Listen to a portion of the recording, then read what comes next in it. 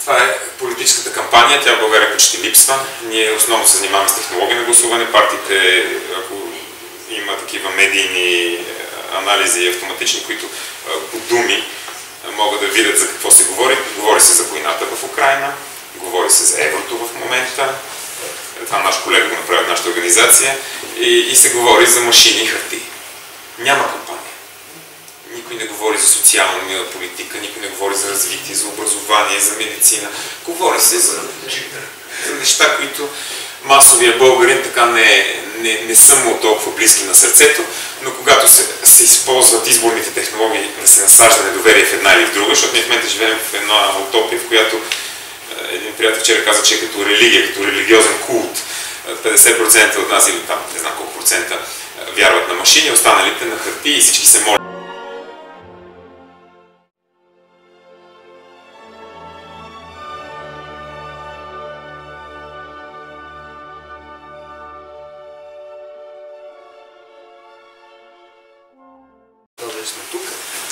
Съм Иван Запремов, журналист съм в по-голяма част от времето съм журналист в Капитал и в една по-малка част от времето, но доста активна. Съм от учредителите на Обединение за честни избори и заедно с доста други неща, които върша, се занимавам и с изборни измами. Моя е честа да представя нещо събитие, което освен, се надявам да е полезно, освен се надявам да е полезно, мисля, че то ще представи доста добре каква е всъщност целта на очи. Казвам накратко, целите са няколко. Едната от тях е да съберем на едно място журналисти, които имат интерес към темата, без значение дали имат опит или нямат опит. Това е много нишова тема, много трудна тема, но е изключително важно за тях, обществено, обществено полезен труд, би го нарекал. Не само журналисти, но и експерти, затова и Стоил е тук, ще ни помага а, и IT бурата, както наричам господин Турецки, който след малко ще ви покаже няколко магии, с които всъщност се улеснява а, така, намирането на проблемни секции, или както аз ги наричам изборни аномалии. А, с дълбокото подчертаване, че идеята е да не се конкурираме с а, други организации в България, които а, е имало през годините и все още има, които също се занимават с това. А, идеята е всички заедно евентуално да помогнем това изборите в България да бъдат честни, защото общо по моите сметки, които аз съм правил някъде април 2021 година, някъде около а, 5 до най-много 10% от вота, но всъщност това не е въобще малка част, е в един, а, в един смисъл контролиран и манипулиран, а, който всъщност е огромен проблем. Той е проблем преди всичко на представителността. А, какво предлагаме ние? То това ще полечи доста добре от днешните презентации на Никола Толечки, Стоилци Целков и на а, Полина Пълнова. Първото, което предлагаме, което Никола ще ви представи доста по-добре, отколкото аз бих могъл, е достъп, структуриран достъп до а, данни, всъщност произвежда тонове данни, които са до голяма степен неразбираеми и се изискват хора като Никола, които да ги преведат на един неразбираем език и да видите една таблица и много бързо да една таблица или една карта или каквото е било, или дори графика и много бързо светват места, където а, просто нещата изглеждат съмнителни. Например, в дадена област имате 25% за ГЕРБ, но в това село имате 100%. Това са абсолютно сериозни, абсолютно сериозни примери, съществуващи. Или пък на дадено място 100% от вота за дадена партия е, са преференции. Това е в едно врачанско село с един кандидат пак на ГЕРБ. но идеята е, че това са аномалии. Ние когато ги погледнем, не може да кажем директно какво се случва, но може да кажем, че тук има нещо съмнително. И от тук по принцип започва журналистическата, според мен не само журналистическата, ми например и работата на МВР, да се насочи към местата, където очевидно има най- най-голяма тежест.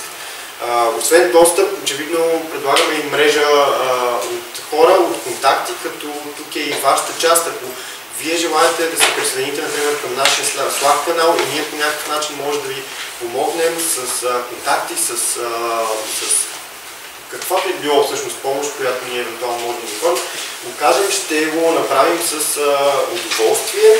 И съответно, понеже голяма част от хората тук сме а, журналисти, голяма част от учредителите сме журналисти, може да помогнем, разбира се, и с а, разпространение на, на статии, които са на тази тема, защото, отново казвам, според мен това е обществен а, проблем. Идва частта, в която а, ви приканвам и по време на събитието, и след, а, след лекциите, и след него, и когато ви, а, когато ви е удобно, когато искате, когато ви трудно нещо, кажете ни вие, а, вие от какво евентуално бихте имали нужда, с което ние бихме могли да ви, а, да ви помогнем да бъдем а, полезни. А, и нещо, което а, забравих, то е изключително важно, всъщност презентацията на Стоил ще бъде насочена към това. А, опитваме се и всъщност сме свършили доста голяма част от а, тази работа да направим една енциклопедия на видовете изборни измами, защото а, изборните измами въобще не са едно нещо. Смисъл, те са страшно много а, видове, има различни техники, много често са кобушарски истории, много често обаче са добре организирани и въобще се опитваме да направим в а, сайта на Очи една енциклопедия, която е в полузавършен все още вид, скоро ще бъде в съвсем завършен и ще може да се ползва от всякакви активисти, наблюдатели, журналисти и така нататък. А, Полина след Стоил ще обясни много добре всъщност какви са, какъв е журналистическия подход към евентуални а, изборни измами, към тяхното а, отразяване, тя как, как използва данни, които най-често ние взимаме от Никола, който е взима от ЦИК. А, и въобще какъв, кога, например, е най-добрият начин да се започне едно разследване, защото а, в българската журналистика има един жанр, който аз много не харесвам и то е да идеме в деня на, на, на изборите, което просто не работи. Мисля, в деня на изборите вече всичко е приключено. Тя работата е свършена до голяма степен. А, с а, всичко това на страна отново ви приканвам за активно участие, задавайте въпроси, казвайте ни ние какво, а, с какво можем да сме ви полезни. Очевидно това е първото ни събитие и идеята да е първото отново и да с много много дейност е това да я подплатим всичко, всичко това, но за това, разбира се, ни е нужна подкрепа отвън, предимно с това да ни се казва, ние, не е да правим ние това, което ние а, намираме постоянно за интересно, а да правим това, което е полезно на възможно най-много хора. С всичко това на страна, много ви благодаря за присъствието и ви оставям с Никола, който ще изнесе първата презентация за деня сутринта. за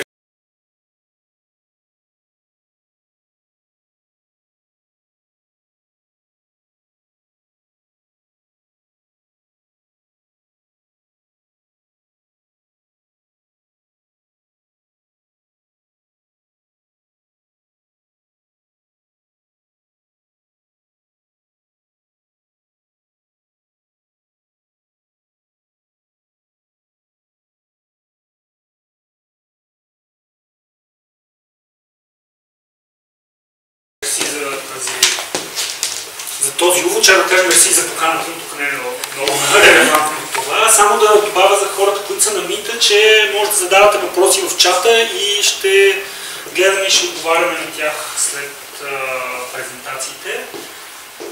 Така, моята презентация се казва изборни онлайн и техно отпечатък в отворените данни. И сега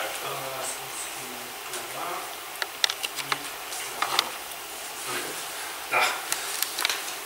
И така ще говоря за данни, но обикновено, когато предполагам всички имат очакване, че когато се говори за данни, ще кажа какви отговори намираме в тях. Аз ще започна от друга обаче. Ще започна казвайки какво не намираме в данните, защото това е много важно, защото все пак преди, че крайната ни цел тук е да повдигнем доверието в изборния процес и да ги направим по-чести, трябва да започнем от това какви, какви аномалии не виждаме в тях. След това ще ви разкажа, ще покажа какво виждаме в данните, обаче от моята гледна точка това не са отговори на някакви въпроси, а по-скоро са въпроси, които трябва да бъдат зададени и които трябва да бъдат отговорени. И нали, това е, както Йоан каза, това е целта на, на нали, нашата, нашата организация и на събитието да насочим вниманието към тези, тези казуси, тези аномалии, които трябва да бъдат разтълкувани и за които трябва да бъдат отговорени. Така, какво не виждаме в данните? Ето имам един пример от президентските избори в Азербайджан 2013 година. Това, което виждате е скриншот от мобилното приложение на тяхния ЦИК, което казва, че на изборите 8 октомври 2013 година президент Илхан Алиев е спечелил с 72% и 76 стотни. Тук предполагам, че някои от вас усещат каква е, каква е ловката. Изборите са на 9 октомври. Така че те пускат, релизват резултатите един ден преди вота, което и те после се обяснява, че било някакъв бък, че било нещо там, някакви тестове. Но практика това е много, много силен, силна така, сигнал, че има нагласяване на, на централно ниво че всъщност цялата работа е един гигантски театър или гигантски цирк. Това нещо българските данни, в нашите данни не го виждаме. Слава Богу, трябва всички да бъдем много благодарни. ЦИК няма да ни да си измислят ни числа и да ни, да ни облъчите и кажат, да, тук това, това, това е резултат. Бъдете благодарни. Какво друго не виждаме? Това са едни графики от Русия, Владикавказ не съм бил, предполагам, че е прекрасно място с прекрасни хора. Това са данни на горе-долу на ниво Общински избирателна комисия. Графиката показва всичките секции, те са, не знам колко са, над 50 така като гледам. Всичките секции, синьото е резултата за един на Русия, партията на Путин, червеното е резултата за опонента му, комунистическата партия. Какво виждаме? Виждаме, че в абсолютно всяка една секция Путин печели с 74%, другите има 20%, с изключение на 5, където резултатите са обърнати. Това няма как да е резултат на какъвто и да е естествен процес електорален. Това си е чиста, чиста манипулация и то не е много сръчно направено. Нашите данни такива работи не виждаме. Търсили сме, гледали сме, няма такъв тип такъв тип патери. Не може да кажем, че някой Рик или Уик е събрал протоколите от секциите, изхвърлил ги и си измислил ни число, които е предал нагоре. Това такова нещо няма, което също е. Тук това е малко по-пипкаво, много ми харесва и така малко за по-технически ориентири. И тук какво виждам? Виждам една дисперсионна диаграма, която на хоризонталата показва избирателната активност, на вертикалата показва резултата за победителя. Пак от Русия, пак се става дума за Путин. И сега, се гледат в, в диаграмата и затова се направи зума, има едни черти. Нали, виждате, той изглежда като, като решетка малко. Нали, не, е, не е равномерно. Това, че изглежда като решетка, значи, че има концентрация на, на стойности около кръглите суми, т.е. около 70%, 75%, 80%, 85%. Това значи, че хората, които са попълвали протоколите, са си измислили, са делили на някакво по-удобно число, са делили хората от списъка, за да може да репортнат активност от 80% или от 85%. Това нещо, когато се наложи, тук между другото периода е много голям, обръщам внимание 2004-2011, това като се наложи и всъщност така изпъква някакси от данните и и нали се вижда как, как в, в какъв мащаб се нагласят нещата. Правили сме такива дисперсионни диаграми за нашите, за нашите избори. Благодаря на студентите, които не идваха на лекции после правиха диаграми, за да може да измислиме нещо. Да, такива неща не видяхме в нашите, в нашите данни, за което сме много благодарни. И сега остава какво виждаме и какво, какво още е, с какво разполагаме. И, както каза Йоан, по-скоро при нас нещата са на, може така да се изразим, на кукушкарско ниво, нали? на ниво секционна комисия, на ниво нещо да, да измисли няколко бюлетинки повече, няколко бюлетинки по-малко. На това ниво са нещата. Те са недопустими, но нали, в контекста на всички изборни измами, всички начини, по които може да бъде щупена и симулирана демокрация на света, пак са добре. Какво разполагаме в България? Всички избори от 2011 до 2022 година трябва да обърнем внимание и да благодарим на колективния европеец, който 2003 година се е, е решил, че трябва да бъдат отворени тези данни, така че да длъжни. Аз още се съмнявам, че ще да бъдат отворени, ако нямаше тази директива.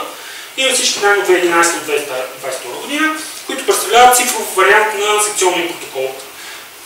Плюса на това е, че е много високо ниво на детал. Всяко число, което има в секционния протокол на, да, на даден избор, го има и в отворените данни по-лошото и по-трудното да се боравя с тях, че няма никаква интеграция. Тоест, партиите са идентифицирани с номера на бюлетината.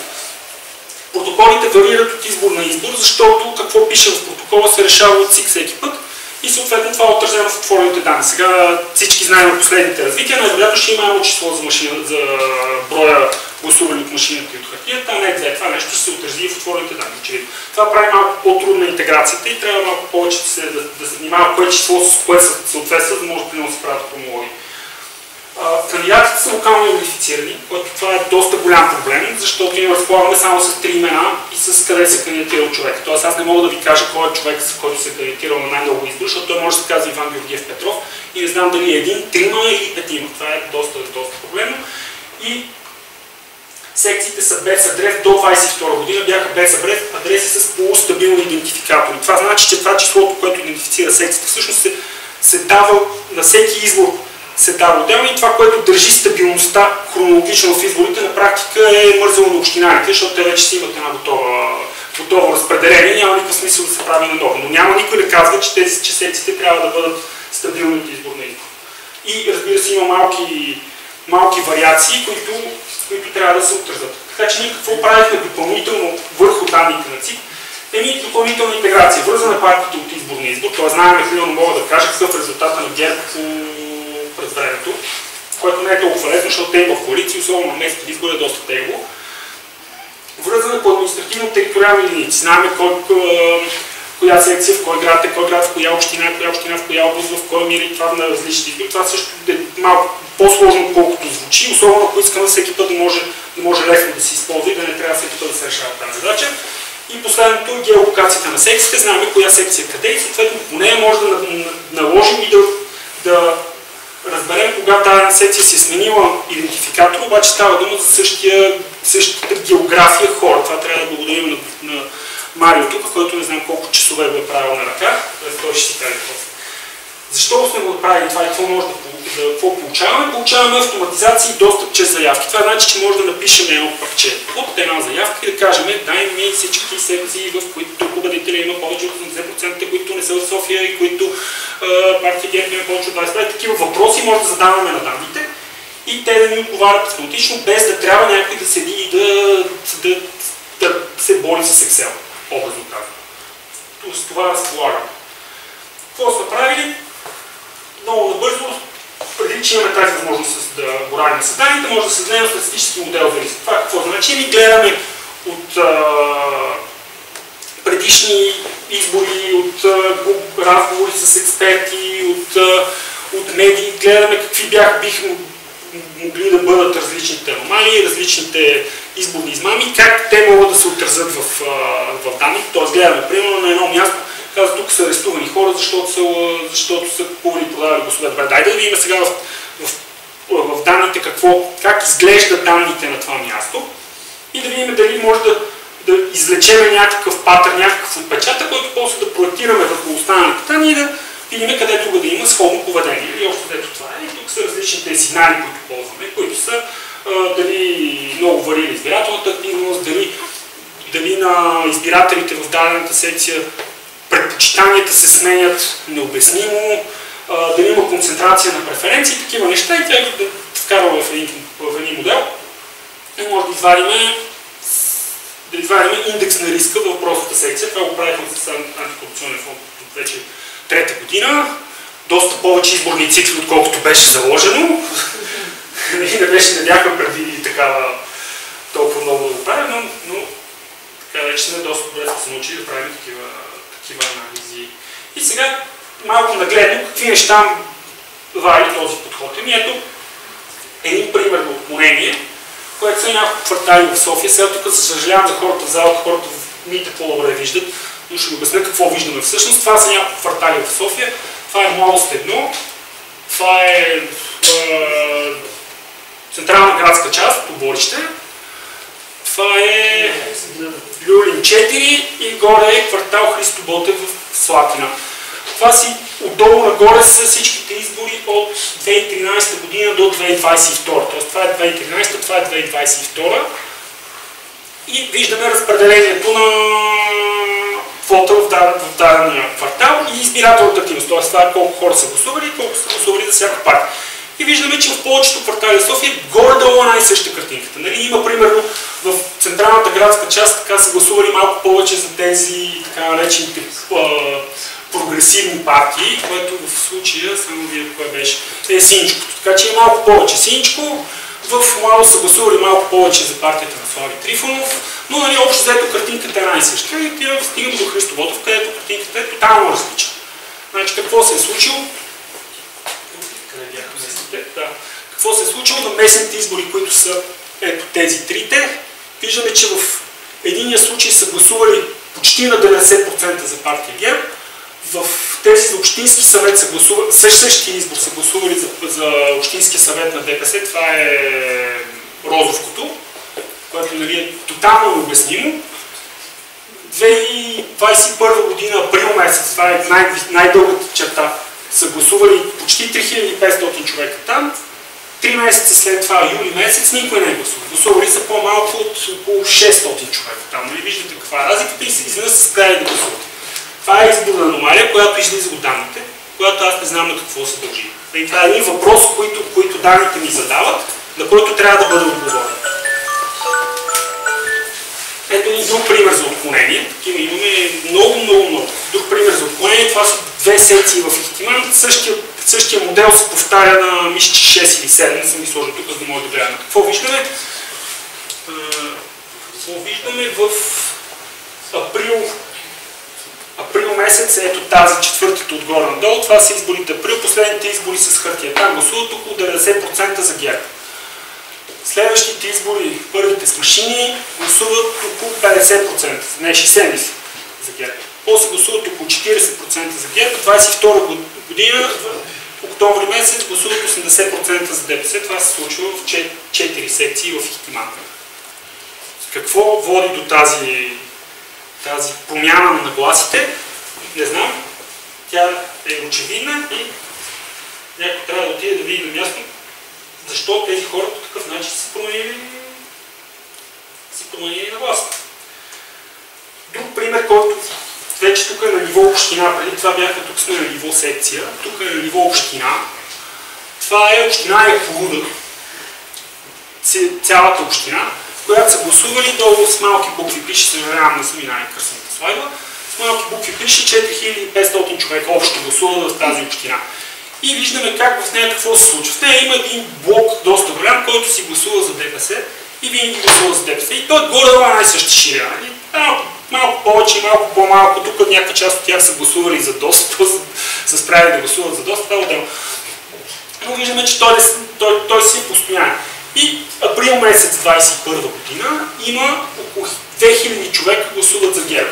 Преди това 500 човека гласуват за ГЕРБ, след това 500 човека гласуват за ГЕРБ. Това значи има едни 1500 гласоподаватели в община от 4500 човека. Това са повече от 30%.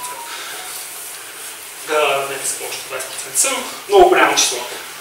Те просто изчезват и виждаме, че те не, не се преливат в някоя друга партия. Те просто изчезват от, от бюлетините и от резултатите. Това е пример, на който трябва да се, въпрос, на който трябва да се отговори. Тук много набързо само да покажа, че това далеч не е първата община, не е единствената община. Ето тук вече това, това е Свиленград. Тук, са около, тук числото е много по-голямо, между другото тук са около 2000 и няколко, пак същия, същия патърн.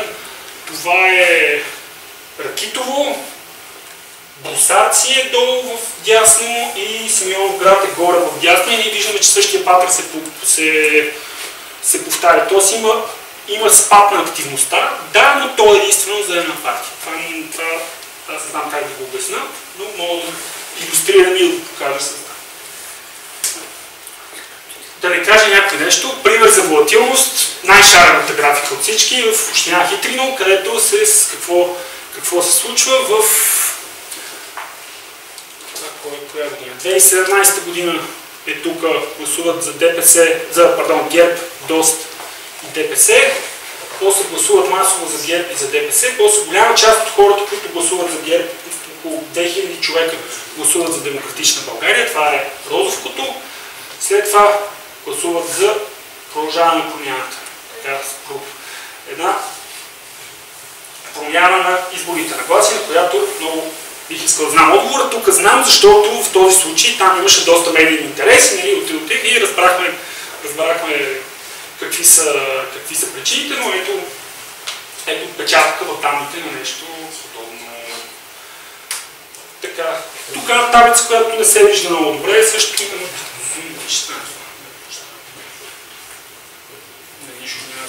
Съжалявам. Добре, това една таблица, която всъщност е отговор на едно, една справка, едно питане, който е концентрирани преференции. Мисля, че беше от Йоан питането. Да, той ми каза, дай ми всичките секции, в които с някой гласувал с над 100 гласа, има над 100 преференции, партията има над 50% резултат.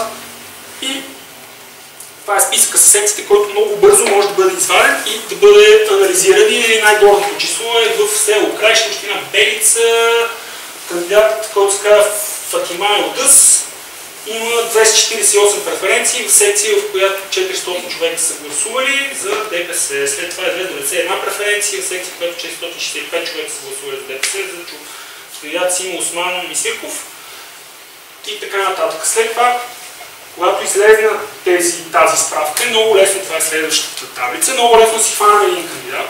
Тук в случая е госпожа, госпожа Славена Точева, която е доста известна сега и да видим нейните преференции как се разпределят. И тук, тук виждаме резултат от справката. Какво виждаме? Е, че в няколко секции на, на, някакви малко, малко населени места, Климанци, Девня, Цонево, Нов, Трилски, Делпол и Аспарухово има изключително висока концентрация на преференции. Ето, примерно в Калиманци, колко хора гласували са за нейната партия, която е ГЕРБ, са гласували 150 човека, от които 120 са гласували с преференции за въпросния кандидат. И нали, това нещо, всъщност тази таблица произвежда една карта на практика, една топология, къде, къде хората имат а, искат да гласуват за този, този кандидат, което в някои случаи може да е обяснимо. Примерно, очакваме в населеното място, откъдето е роден, всички да гласуват за него. В други случаи, ако е разпръснато няколко малки населени места или, или някакви странни странни квартали, може би има нещо нередно. Но това е въпрос, на който трябва да се отговори вече на място. Това, е, това беше така бърз поглед върху типа ресурси, типа подход, който имаме с работа с данни. И, както Йоан каза, това е само увод и ние искаме да го предоставим на възможно най-много хора да се възползват от него и вече да си набелязват някакъв казус, който ние ще им помогнем да извадим от данните, който те ще могат да интерпретират. Тоест с какво разполагаме в момента? Разполагаме с списък с рискови секции, които са, те са около горе-долу 2000, които, в които се служава да се обърне внимание. визуализация с история на вода, което са на практика тези, тези графики, които показах преди малко. Такива може да правим на всяко ниво на агрегация. Тоест от секция през население, през община, мирно и на всякакво ниво може да правим такива графики и може да ги използваме да се иллюстрира всякакъв анализ.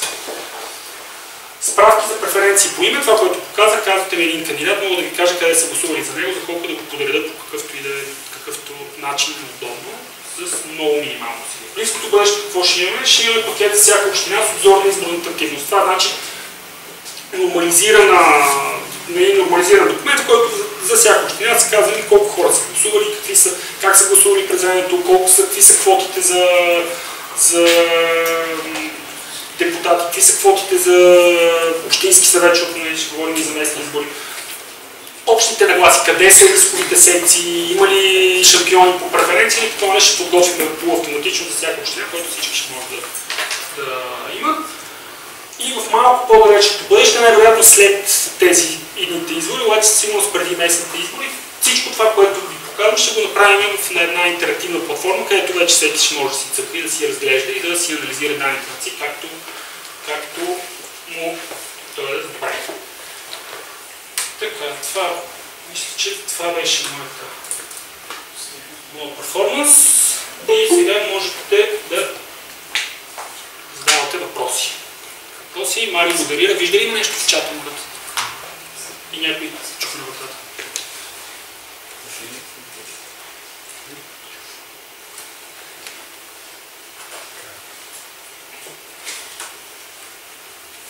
Че да, това, са, това е което виждаме в данните и ви каним да Мислете за Никола като един вид чат GPT, вие му пускате, аз искам да ми извадиш това и той след около 2-3 минути, ако е на линия, ви изплюва един екселски файл, в който си казвате, аха, да, това тук се, се случва. Да, там има много така, вече, вече сте разработени заготовки, така че става, това става много бързо. Особено нали, въпроси, които вече са задавани, примерно преференциите на даден човек, става за секунди. И нали, вече сме почти, почти сме готови да го, да го автоматизираме и да го направим просто един един портал на едно web приложение, което не може да се Аз... Добре, тя кажа. Не, аз нямам въпрос, просто искам да аплодирам всички за работата, която се свърши, защото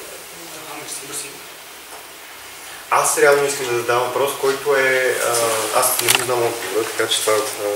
А, реално МВР и други институции, те обръщат ли внимание на, на тези карти, които са с аномалиите? Тук аз мога да дам Да, за, за, за записа мога да за да и повтори въпроса, моля.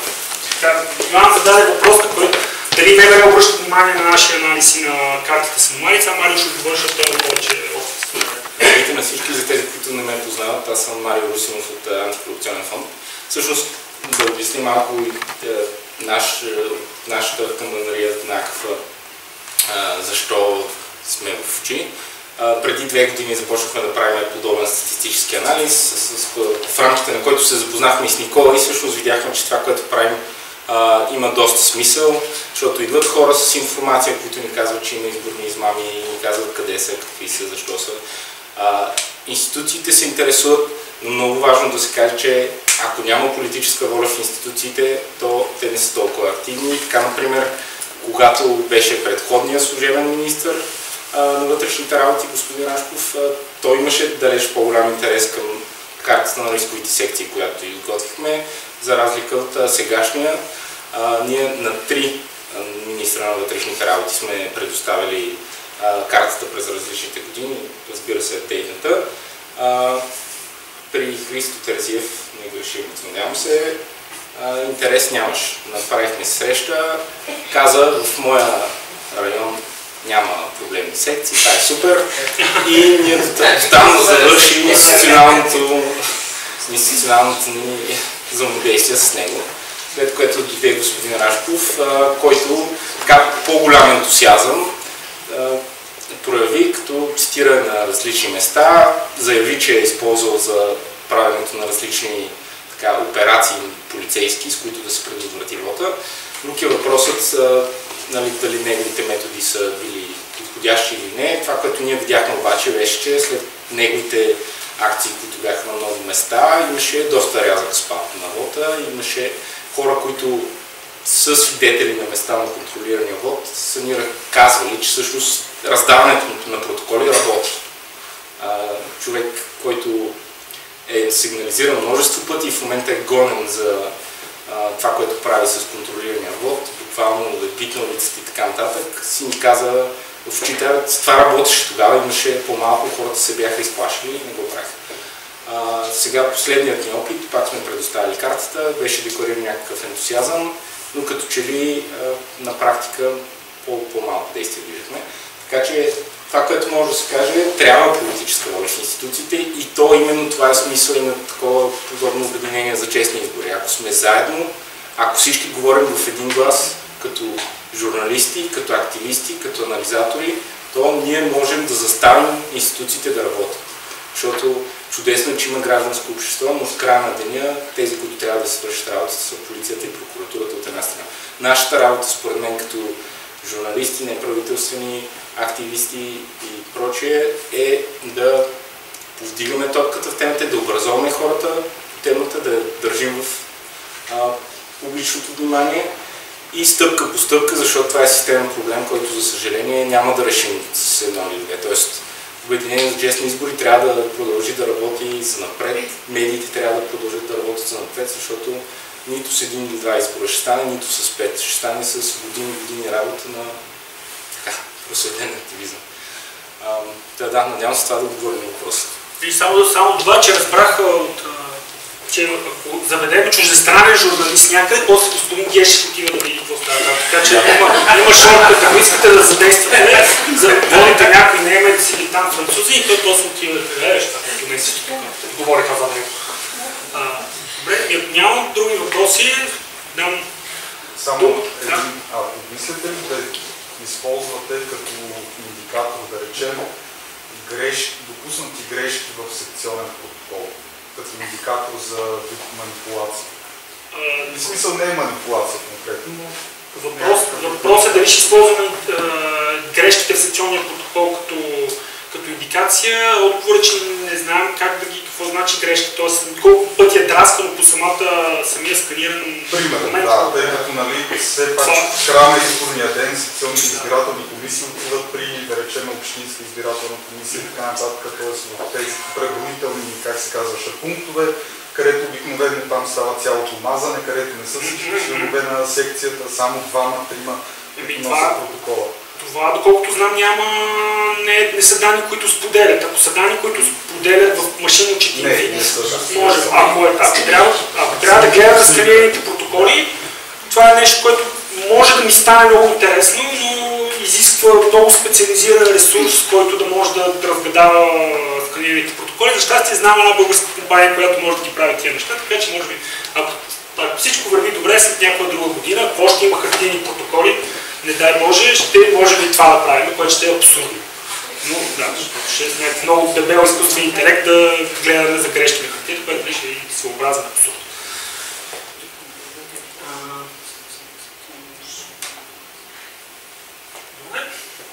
Благодаря.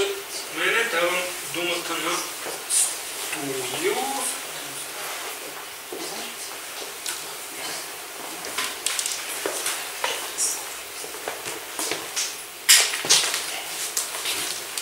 Ти е... Да. Давам думата на Стоил, който ще представя като изборен експерт, който повече от вас знаят, член на Обществения съвет на ЦИК, който знае много повече от мен тия графики какво значат всъщност, защото аз не знам. Аз знам само... Ами, здравейте, ще се опитам да бъда много кратък и композиран, което ми е трудно. Никола всъщност разказа много от нещата, които се индикират и така индиректно остана ясно какви са видовете измами. Те са страшно много и тук в залата имаме и изборни експерти с опит от е, цял свят. Отделно и аз съм наблюдавал изборите къде ли не. Интересно е просто да знаем, че манипулация на изборите се случва навсякъде. Дали те са незаконни или законни, вече зависи от закона по държавите, но няма място, където някой не се опитва по някакъв начин така да изкриви резултата или нагласите за своя полза и това е нормално. Проблемът в наши дни е, че това вече са много мощни инструменти, наемат се много мощни фирми, използват се вече алгоритми, използват се работещи системи, много добре организирани схеми. А, и това вече дава много сериозни отклонения и за, за това така много се радвам, че сме се събрали в очи, защото а, ние сме много организации, много от нас, които работят на парче с малко наблюдатели на места, имат малка идея от един клъстер, така да кажем, на картата. Ние, например, нашата организация има наблюдатели основно в Хасково, имаме в Бургас, имаме в София, като са повечето организации тук, които сме събрали, но изпускаме други е, части. В Обществения съвет, например, се получава някакво припокриване, но отново много ограничено. Това обединение, ние тук, смея да твърда, е най-широката коалиция, така, обединение на хора, които имат представители на терен. Така че, е, допълвайте ме, ако нещо пропускам, вие сте експерти, още повече е, искам специално да кажа за антикорупционния фонд и е, Института за развитие на публичната среда, които са така от сериозните организации, които правят анализи. Имаме тук и, и, и други сериозни организации. Така вие сте експертите, аз ще се опитам да го структурирам. Понеже сме насочени към журналисти, искам само да изясна няколко така чисто термини. Купен срещу контролиран вод. Това е включено в моята презентация. Купуване на дребно срещу купуване на едро. Корпоративен вод.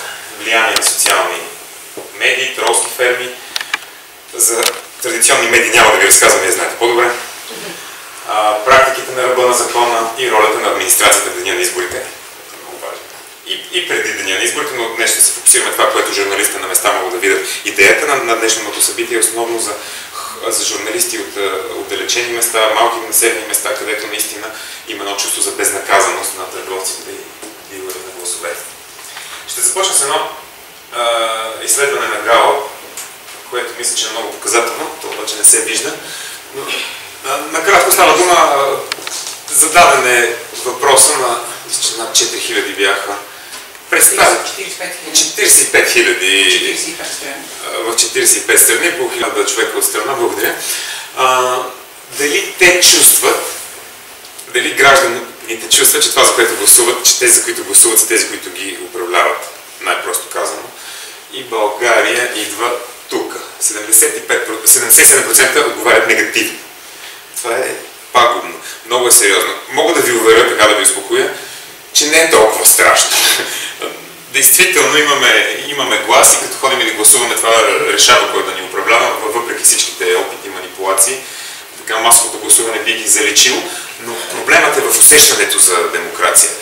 Дори един процес да е много чист, ако хората нямат доверие в него, той не е, не е добър. И с това начало нека видим кой гласува в България. След последното преброяване се оказа, че сме тази дебелата цифра, не знам дали виждате всички, малко под 7 милиона. Трудо, под трудоспособна възраст сме милион. А, общо взето виждаме, че средният размер на пенсията е достигнал с огромен брой пенсионери, е достигнал 647 лева. Няма нужда да ви обяснявам, че говорим за бедност. Ние сме една бедна на държава, където и 50 лева могат да, така, да накарат някой да си продаде правото на глас. А, исках да разкажа за предпоставките, само съм включил много текст, няма, моля ви не го четете. си за мен да си напомня малко ми е хаотична презентацията, но става дума, че изборните нарушения стават основно, където има някаква форма на контрол. А, дали е зависимости, дали е дали ето тук са изброени, това го взех от един анализ на ИРПС, има економическа, образователна, корупционна, възрастни хора. Един човек, който е независим, който изкарва достатъчно пари, който е добре образован, много по-трудно ще бъде повлиян. Е отново казано очевидно, но тук в стаята има слон. Едно изказване тук взех от вчера на сегашния министр на МВР, който е натоварен с провеждане на избори, Дезен който ми каза, че не трябва да се заблуждаваме, че войната от проведените пет избора беше достатъчна и така свързва връщането на хартия на, на бюлетина с увеличаване на дейността за купуване на гласове. Честно правя, че го казвам, защото ние очакваме същото. Така че радвам се, нали, това е към предишния въпрос, който Мари отговори, че всъщност да, трябва да работим с МВР и се надяваме, ето тук съм използвал една от картите, които изработва антикорупционния фонд, надявам се да ги взимат под предвид. Всъщност имам информация, че доста от местата, където раздаваха тези протоколи, са част от тези горещи зони, които са индикирани от различни организации. Подкрепям това мнение, че не знам дали тези протоколи са най-добрият начин, те наистина могат да бъдат видени като дискриминационни. 2014 година ги раздаваха основно в ромските махали. Лично съм бил свидетел, докато провеждам интервю с местни лидери, нали, нали как идват полицайите им връчват тези заповеди, просто стана по-широко. Не е най-добрият метод, но ако работи, е един от методите. Сега да се върнем към термините. Постоянно чуваме на всички реклами, на всички плакати, че купуването подаване гласове е престъпление, но много малко от нас знаят какво е то. То е много сериозно престъпление според нашия наказателен кодекс. Тежко престъпление се води. Предвиден, има предвидена минимална, минимална санкция, тя е една година, т.е. не може да се разминеш административно. Ако се докаже, си, си осъден много сериозно. Проблемът е, че се доказва много трудно. Трябва да има материална облага, трябва да има...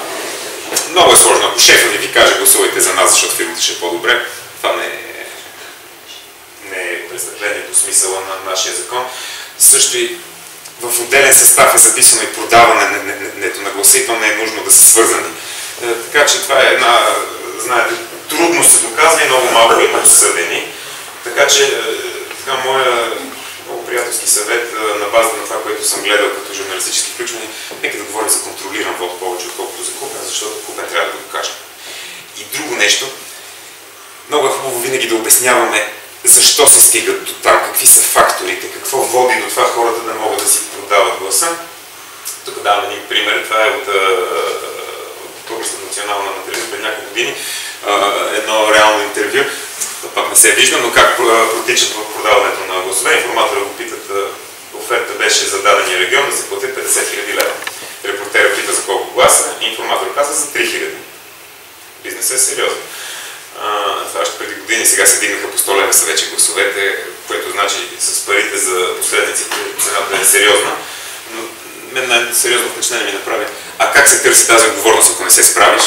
Информатор отговаря, ами имаш проблеми, семейни, лични, идват джиповете, капачки и други положения. Става дума за страх, става дума за терор. Тоест хората първо обикновено влизат за тези схеми. Това е част от криминалния контингент, няма какво да се е свързан с разпространение на наркотици, трафик на хора, те са едни същи хора. Но когато се заиграеш с политическите партии, последствия са много сериозни. Рискът е по-малък. Те често участват в тези схеми, защото шансът да бъдат наказани е по-малък от правораздавателната система, но от хората, с които работят, ще бъдат наказани. Така че там е една много стриктна, много стриктна дисциплина. И от тук отново и се поставя купене с контролирания вод, за да е на лице купуване на гласове. Трябва да има имуществен характер, да съществува, да се, може да се оцени в пари, в средства. Много по-трудно обаче се доказва контролирания вод, който за съжаление в последни години, както посочат анализите, се засилва в България. А, така, има доста хубави анализи, препоръчвам всеки, който не се е запознал да ги прочете. Аз така няма да влизам там, разкажат повече, като стигнем до въпросите.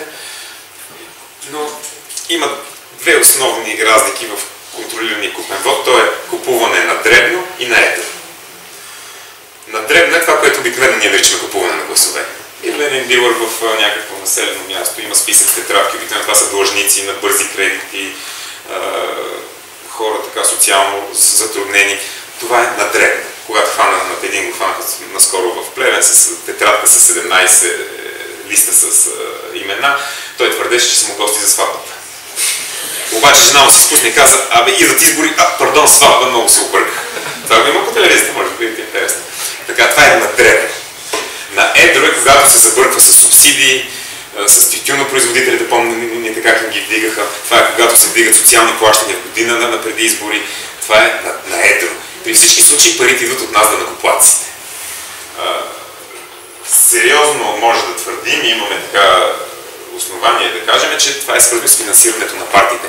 Тоест всичко това е много холистично. Аз затова не се опитвам наистина много така да насоча за нещата, които могат да се видят на места, а вече за който иска ние, затова сме създали тази Slack група, в която нали, нямаме очаквани претенции в тази кратка презентация да изразходим всичко и да обясним всичко, но оставаме на разположение, когато ви идват идеи и въпроси по-късно, ние сме на разположение, ще ви отговорим, ще ви дадем конкретни данни.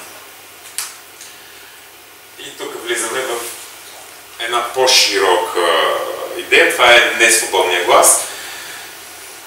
Отново, същите неща, просто даваме пример за, за корпоративния вод.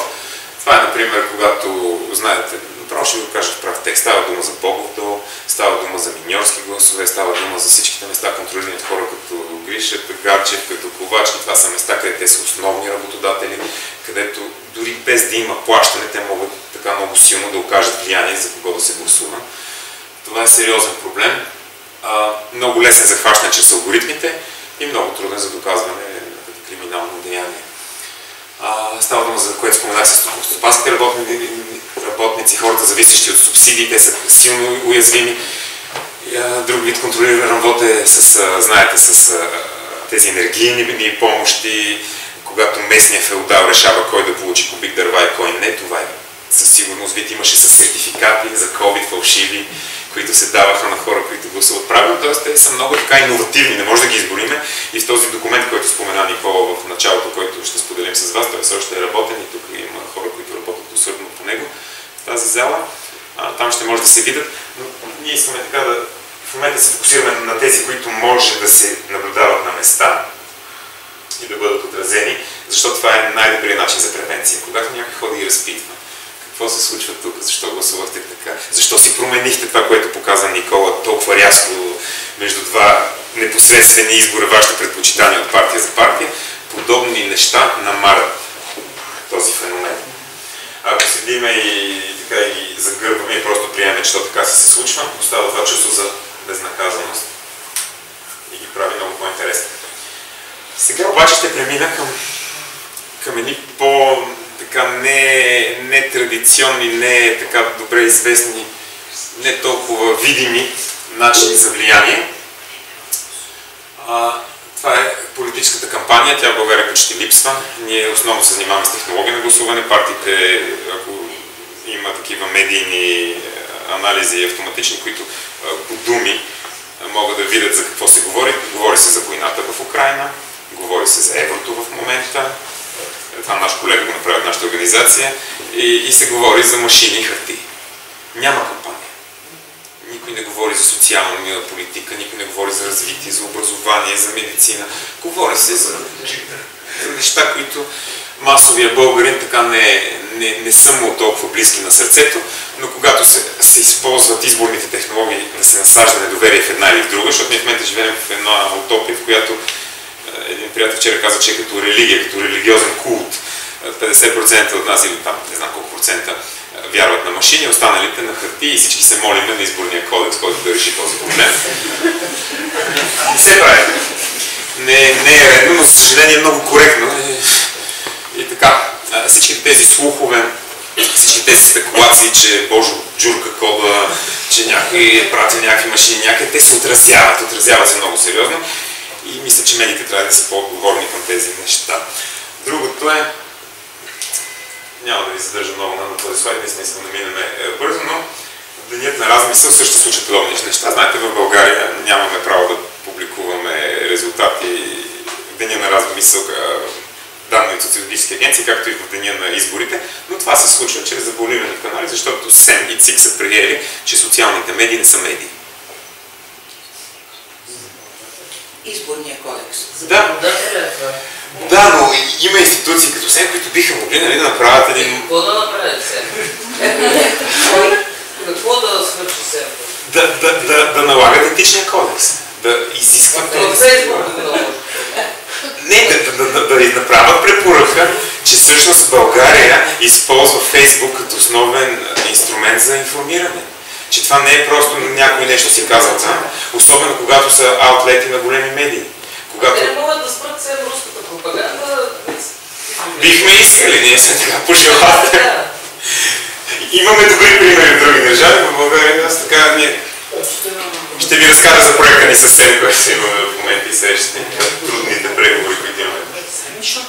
Но тук в този процес се включат и политици, които неформално, нали, формално, прощайте, не участват в кампания, но те са хора така с сериозна на подкрепа, с сериозна база, които чрез вредно говорене, знаете, имаме всякакви скандали, да не ви ги изброявам, вие ги знаете по-добре от мен.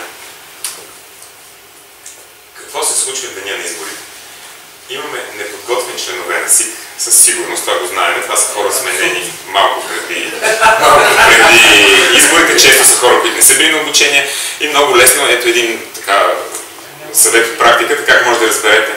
Дори така наречените прогресивни партии, това е съвсем официално и вчера се разговарях с един техен представител, на места, където знаят, че имат много малка подкрепа, са готови да, да предложат своите позиции за членове в комисии на други партии в замяна на други секции. Тоест, тези, тези неща се случват, за съжаление. 80 хиляди човека горе-долу е, е администрацията деня на изборите. Трудно се намират такова нещо, особено от малките партии, колкото и да имат подкрепа в обществото.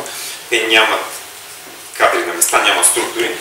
Така че един начин да разберем, че един представител е нелегитимен, това го ползваме много и по изборите по света. Когато някой каже, аз съм представител на една партия, попитай го кой е кой е местният му координатор, те често те гледат ето така и нямат представа, защото той предишния нения ден е бил натоварен с длъжността да бъде представител на тази партия. Той може би не знае кой е лидерът ти. Има, тук за избори съм ги вие ги виждате своя шрифт, но има много неща, които се случват в изборния ден. Повечето от тях са напълно така от немърливост, от неподготвеност, но между тях минават и съвсем умишлени злоупотреби. Това е като парад стафинг, ако някой ми помогне как това на български. Тъпчене на урни. Тъпчене на урни. Това се случва обикновено преди, благодаря, преди изборния ден или в края при закриване, нето се, така, се напълва с подготвени бюлетини. А, индианската нишка, която на Балканския полуостров, пък и вече в Европа, известна като българския влак, българската нишка. Това е когато ни дават подготвена бюлетина, ние влизаме, взимаме тази, която ни, ни дава чиста и изнасяме отвън а това е начин за контролиране. При всички случаи купения вод се контролира по някакъв начин. В интервюто, там, където ви показах по-рано, отбелязаха с точица. Поставяш малко точка някъде на хартията и така се знае, че ти си изпълнил своята задача, че ти си от тези хора. А, сега с машини се ползваше някаква преференция, рандом преференция, някакъв странен номер, някъде отзад на листа и дилърът много добре знаеше на кое семейство коя преференция казва. Например, влиза в това семейство, казва, вие ще гласувате с преференция 16 вие ще гласувате с преференция 18 и той така може да види дали му излизат числата. Много интересно, че партиите, които ползват тези схеми с преференциите, обикновено после напълно така дискредитират референцията и дори хора, които са преместили списък, т.е. са прескочили някой в списъка, са принудени да си подадат оставките. Така че нали, основно преференциите за някои партии, не казвам за всички, се използват за контрол на вота. Сега в тези избори ще бъде много интересно, защото ако остане това решение да ги събираме в една колонка и хартия и машина, от това ще пострадат преференциите. Много трудно ще броят преференциите от малките лищчета. А борбата, особено в коалицията ППДБ, е за преференциите. Това са партии с силен преференциален вод и така социологията и анализите на места и нашите на нашата организация показват, че много хора не харесват цялата структура, но разпознават отделни личности вътре и гласуват за тях. Тоест, без преференциите, без силна преференция и така една увереност, че преференцията ни ще бъде зачетена правилно, това ще демотивира много хора, така че разбирам защо е, защо е така това, това притеснение. Но основно грешките са от умора и от недобра подготвеност. И това, което така е много важно, ние сега ще сложим някакви камери да наблюдават, на които така възложихме честността на изборите. Натоварихме върху един анекс към правилата в последния момент. Нещо толкова сериозно като честността на изборите. Не, това е гарантирано от хората вътре. И едно от нещата, които е много важно, че докато в СИКовете в повечето случаи наблюдателите и застъпниците могат да наблюдават самото броене, да видят какво се записва, в риковете това е почти невъзможно. Нас там ни допускат като наблюдател, но от тук до онази маса да седим и да гледаме как някой набира данни в един компютър. Това не е наблюдение на избори. нямаме и наблюдение в информационно обслужване. Аз лично нямам някакво сериозно съмнение, че там се случва нещо, но за да е един процес осветлен, трябва да имаме достъп. Така че призоваваме журналистите и, и активистите предварително да си осигурят, да разговарят, да изпратят писма, да питат за акредитации, да разберат, защото много често макар че формално имаме право да бъдем там, излизат с, с оправдание, като ми то няма място. Сега къде ще седиш тук? Ма вие сте четирима. Тоест, помислете ги тези неща предварително. Изборните шашми не се случат деня на изборите само. Те започват по-рано и подготовката, за да ги хващаме, трябва да започне много по-рано и организирано. И какво ще стане на 2 април? може да се гласуват документи на друго лице. Това се случва в България. Някой събира лични идните карти по малките населени места и отива да гласува на баба си. Което в повечето случаи сигурно не е лошо. В моя няма да е лошо. Документиране. В моя случай ще спеста един глас. Няма значение. Документиране на гласа и индианската книжка и пара ставка, за който ви споменах. А, това са най-честите, но не са единствените. Имахме един случай в Маглиш, когато след гласуване всички излизаха и пуска по една оранжева салфетка в една кофа. Лично разговарях с шефа на Маглиш. С кмета на Маглиш, той не се ще шефа. Не да мъж. Здрав така, култури с един дебел златен ланц и го питат, добре, бе, какво е това? И той казва, ми не знам, ти ми кажи. и се усмихна така. И седим заедно, няма други хора, няма журналисти. И му казвам, добре, нали, няма нищо да изнесу от този разговор. Явно съм го излагал. Кажи ми какво беше сега тази хартийки? Той ми не знам бе хора, си фърят хартийки. И така и с една усмивка, общо взето, докато има това чувство за безнаказаност, тези хора така ще ни гледат. Той между другото е бил кмет от 4 или 5 различни партии. Същия господин. Ами, това от мен. Питайте ме каквото искате. Не е изчерпателно, но е насочващо и искам да подам към Полина, която която журналисти, които от много години ги отразяват тези неща, след да ги има представа така на място как се случва и, и, и как се държат тези хора, колко нагло и арогантно могат да ви отговарят на очевидни нарушения, просто фрапантни, като не. Ми ние отиваме на сватба. Благодаря. Повтарим ли въпрос? Да, за, за, задавайте въпроси, ако има и в а, онлайн. Не знам колко е важно въпроси, но а,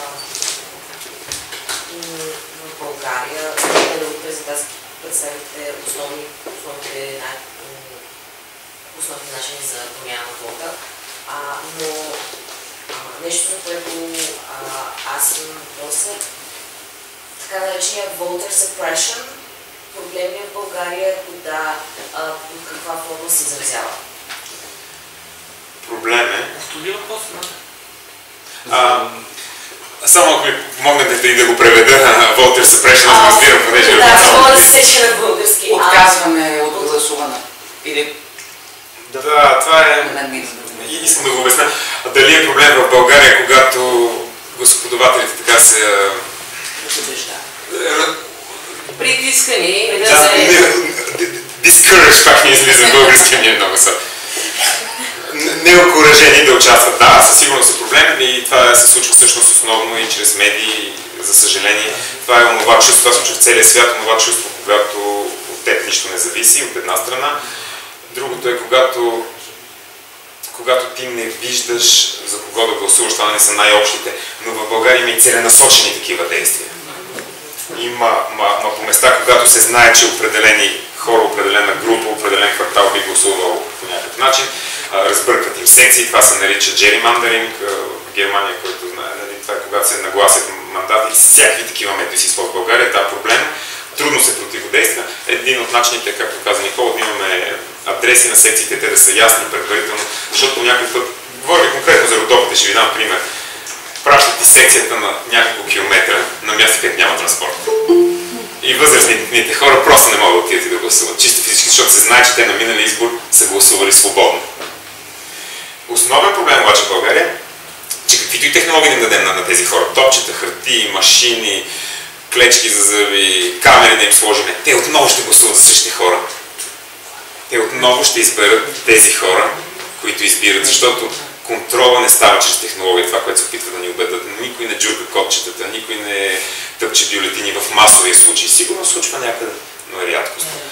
Основният проблем е, че тези хора са в силни зависимости, економически, социални, демографски. Те имат друго чувство за принадлежност, чисто така социално. И те отново биха гласували за същите хора. И това се дължи на ниската ни политическа култура, на лошото образование. И много често тези хора, за да довършат отговор на въпроса, те не чувстват, те, те не разбират, че са жертва на. То се случва без то да е осъзнато, т.е. те дори не, не, го, не го репортват, не го докладват на организации като нашата на антикорупционния фонд. То остава незабелязано. Те мислят, че това е някакво решение на общината, кмет е просто решил да премести секцията, защото е по-голямо училището или защото сме направили нова сграда или нещо подобно. Трудно. А бихте ли казали къде точно в това е за Куклен. Куклен Руен. Там открих изборите на последните избори и гласувах там. Имаше хора. Също много интересно нещо ми се случи. Аз, понеже нямам адресна регистрация, там отидох да гласувам. Отидох в началото на деня. Вътре имаше няколко човека, очевидно не са от селото, пратени са от някъде другаде, да гласуват но да, да, да работят като администрация, но вече бяха изразходени абсолютно всичките форми за гласуване на друго място. Те вече бяха свършени. Аз стоям на откриването. И изведнъж се оказа, че някакви хора са гласували. Бързо гласуват. Бързо много гласували. То възрастни хора. Но вече бяха гласували, те паднаха, като ме видяха. Защото ме разпознаха, явно сме виждали някой по телевизията и просто бяха Тъпчене на бюлетини. да, просто бяха Лена Мале, толкова прави тук. Страшно много се притесних и когато казах, аз не направих, че нищо не разбирам и че това е нормално. Казах, аха, гласували са, добре. Но нали мога и аз да гласувам? Еми, те ни свършиха формите. Колко донесоха? 15. Аха. И 15 свършиха. Еми, 15 свършиха. Вие колко сте? Петима. Аха. И ги няма формите ми няма. И викам, аз как да гласувам? Наложи се председател да запали личния си автомобил и да шофира до кухня, за да... Тоест, ако не беше заради мен, мога да ви кажа съвсем спокойно, друг човек нямаше да гласува. Те и мен се опитаха да ме е, обясни. И ти сега като си имаш тази карта за наблюдател, мога да гласуваш навсякъде, защо не можеш да гласуваш на Северно град, например. И аз казвам, аз държа да гласувам тук. Искам да си видя дали моята странна преференция, която си отбележа, после ще ми излезе. Дори ми го казах прав текст, което още повече ми притесни. Защото сега разбрах, че ще гледам всички преференции днес. Ужас. Защото бях, аз сега ще бъда някаква много странна партия, ще дам някаква много рядка преференция и ще следа после резултатите, което наистина така посърнаха им физиономите. Имаш още един въпрос. Аз имам въпрос, да. а, Още два. Да, свързан с... а, Любимо ми е какво е нивото на ангажираност на партиите към това, което се случва, което да се...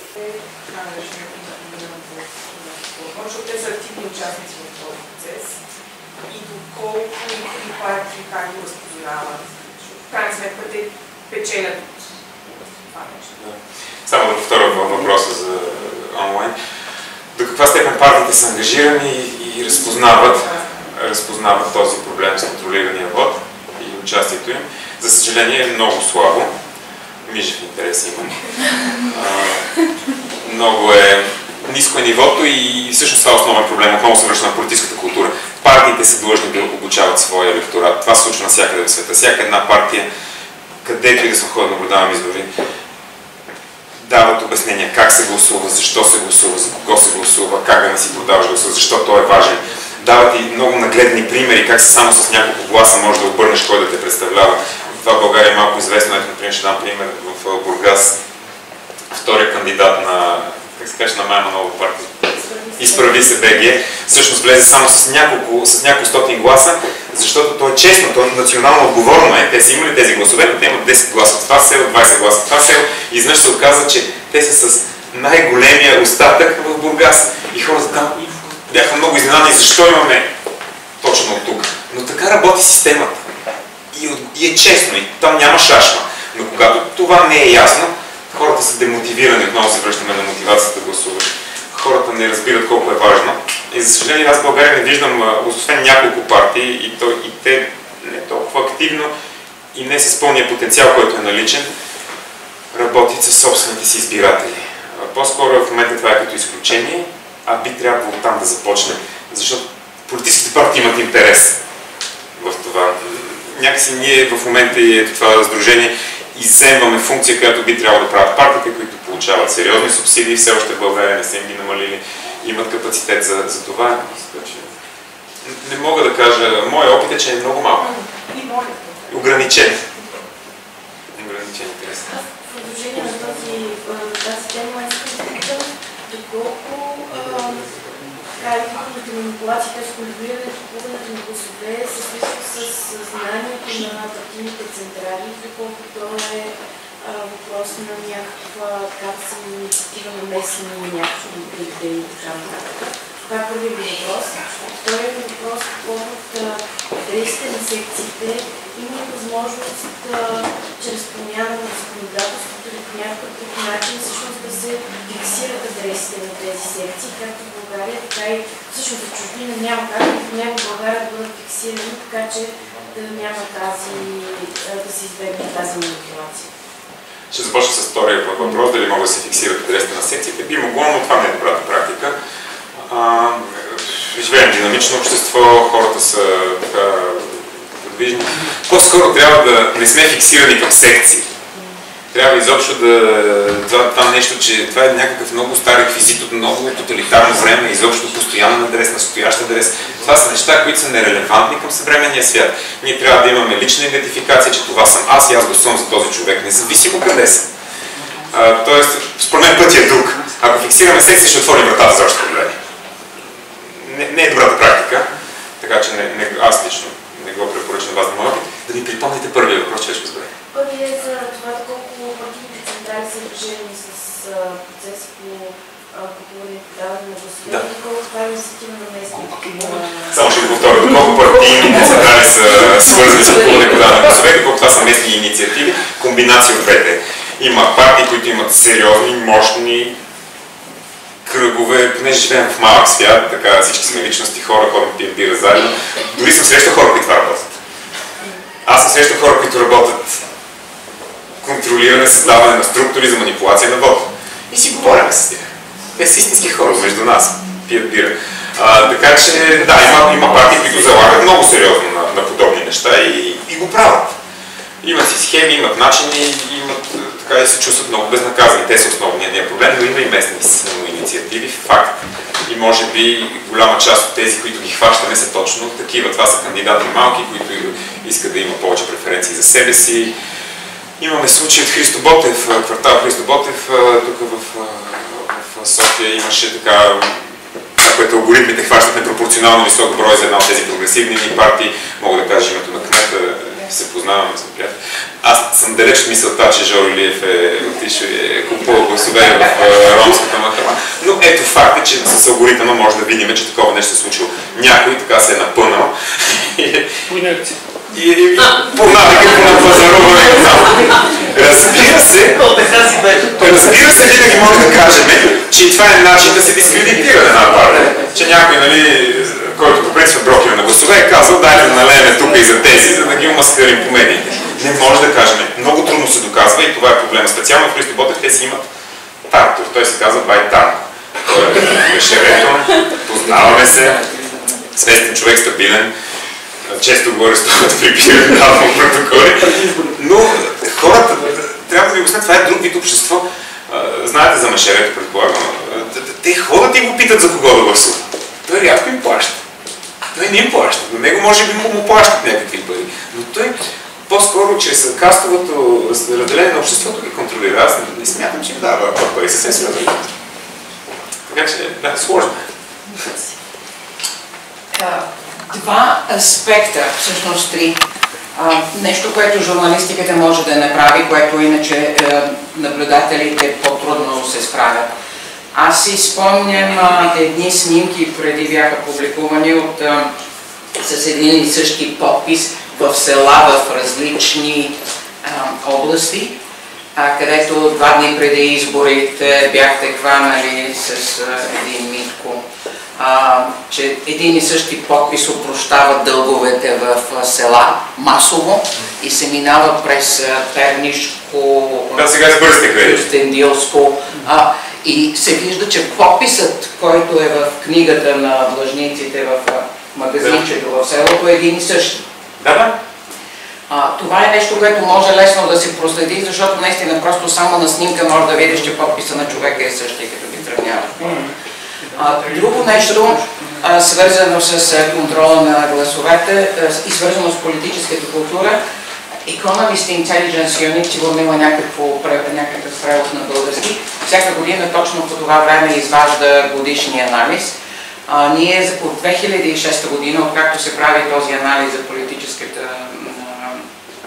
за нивото на демокрацията в страната, България има политическа култура а, на нивото малко над Северна Корея, докато останалите институции, всички останали четири показателя а, са добре. И всъщност, а понеже ние много говорим за а, проблемите с изборите, да кажем, че от всичко, което функционира в страната, всъщност най-надежни са резултатите от това, което ние произвеждаме като избори.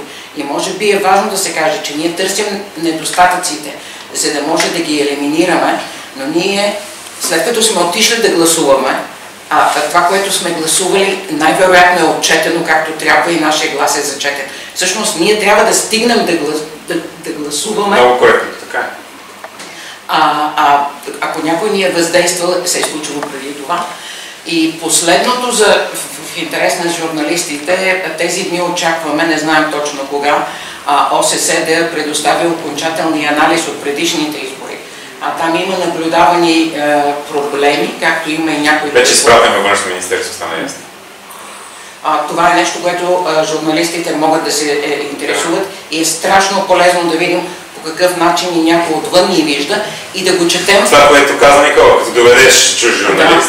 и да го четем а, критично. Защото не всичко, което някой отвън вижда, че е проблем при нас, ве- вероятно е проблем. Това е наша работа да е го оценим. Но не е всичко, което те ни препоръчват, ние сме си направили труда даже да го обсъдим. Има много истински проблеми, които ние сме решили като общество да ги игнорираме, като проблеми, които се наблюдават отвън и които са реални. Не, това не беше въпрос, а коментар. Искам да ви представя, това е Иделина Алексиева и Румяна Дечева, един председател на ЦИК от предишен период и един председател на Обществения съвет към ЦИК от предишен период. Те са поставени лица тук в публиката. Много подготвени, провокатори и всъщност, всъщност ги поканихме, за да могат да отговарят на конкретни въпроси, защото Ивелина има много сериозна юридическа експертиза в изборите, освен политическа. Румян има много сериозен опит с изборни измами от цял свят, така че са тук за да ви отговарят. Също ще бъдат включени в Slack групата, в която всеки един от вас ще може да задава въпроси както помежду си, така и към тях и всеки ще може, нали, кой по каквото е компетентен да отговори. Това е идеята на тази среща. Нямаме никакви претенции да изчерпваме темата днес. Много ви благодаря. Ли аз добавя нещо Да. това, което Абе, чакай да, повече, че трябва да говорим. Заповядайте. За това, което ти спомена, нали, за кмета и за оранжевите салфетки, особено на някакви по-малки места, най-големия предиктор, не знам как е на български, но това, което много ще покаже къде ще падне вода и ще даде някакво обяснение, индикатор, точка. Най-големият индикатор е от коя партия е кмета. Значи, 2021 година, когато за първ път с Никола работихме, той ми извади едни данни за секции с над 50 гласа и над 70% за победител, т.е. много съмнителни секции. И в а, Пазарджик, в областта, се оказа, че има страшно много такива села, където има 100%. Ама отиваш и просто 100% от вода. И а, ти отиваш, примерно там има 150 души, в момента в който влезеш в селото, виждаш, че то няма всъщност 150 души и никой не ти дава обяснение. Първо, защото всички се познават, но след това, нали, след като започнеш да си говориш с хора, единственото обяснение, което ми по някакъв начин са ми дали, беше, абе, виж от кой е кмет. Заради той кмет си ги държи, нали, той знае кой къде живее, какво що. Всеки път кмет е от ДПС, ДПС взима 100%. Съседното село, което е от 300 метра надолу, кмет е от ГЕРБ, ГЕРБ взима 100%. Това е единственото място, това е единствената област, в която съм ходил, където никой не, не говореше нищо за пари. Смисъл, той кмета просто си ги знаеше един по един. Навсякъде другаде в северо-западна България, в Ихтиман, в, а, в Разград, навсякъде става дума за пари. Сега предполагам, че в Пазарджик има някакъв такъв стимул, но кмета е огромна част от това нещо и а, то, това оставя отворен въпрос дали е на централно ниво, дали, например, в централата се казва, ние от тази област имаме нужда от толкова, от толкова гласове, или кметовете сами предлагат, че те могат да докарат толкова гласове от дадено село. Да. Сега предлагам да дадем думата на Полина, която от журналисти или журналисти. Действително, 6 месеца си го съм правя имам два... Един, една дама искам И аз да дам на я Да, да. А ти искаш Не, нищо искам да Само да го. Добре. Честно.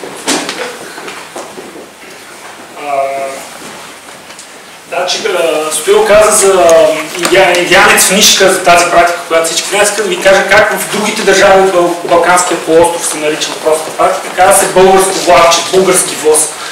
Потърсите в, в Google, ще видите, има много видеа и нали, обяснения, ща е, ща е то български воз. Има хубави анимации. Това иска да кажа. Данната приключи. Данната приключи. Така. Добре, да. Момент само. Ще вляза в ролята на черната станция. Защото много се кръвопутих. И ще започна да ви оборвам един по един. Първо ще започна от Йоанна. Не е вярно, че където кмета от ДПС, там така. Ще ти дам пример, не, не давам само пример, защото не трябва да бъдем предубедени с а, Хасковското село Узунджово, което резко стана реформаторско. Преди години, когато имаше реформаторски блок, всички ги обзе една тясност, защото кмета на Хасково а, втъкна своя син а, в листа на реформаторския блок на Хасково.